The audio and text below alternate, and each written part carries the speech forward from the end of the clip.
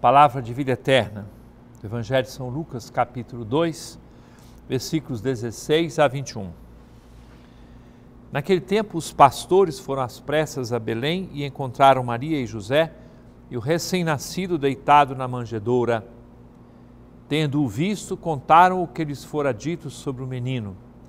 E todos os que ouviram os pastores ficaram maravilhados com aquilo que contavam. Quanto a Maria, guardava todos esses fatos e meditava sobre eles em seu coração. Os pastores voltaram, glorificando e louvando a Deus por tudo o que tinham visto e ouvido, conforme lhes tinha sido dito. Quando se completaram os oito dias para a circuncisão do menino, deram-lhe o nome de Jesus, como fora chamado pelo anjo, antes de ser concebido. Querido irmão, querida irmã, começamos um novo ano com a graça de Deus. E a igreja nos faz celebrar a Virgem Maria no seu título mais bonito e mais importante, ela é Mãe de Deus. Todos os outros títulos, mistérios, dogmas, realidades estão ligados a esta escolha que foi feita a respeito da Virgem Maria marcada, chamada para ser a mãe do Salvador. Ela deu, em nome da humanidade, a resposta, o sim total, decidido ao plano de Deus. Assim viveu a Virgem Maria e assim nós a contemplamos. E hoje nós olhamos para Nossa Senhora nesta realidade importante da maternidade.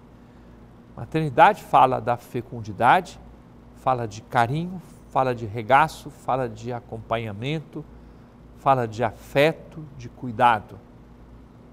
Que sentimentos bonitos para nós iniciarmos este novo ano. A fim de que não seja um ano em que as pessoas se tratem com pedra e paus e quebradeira e estragos e maltratos.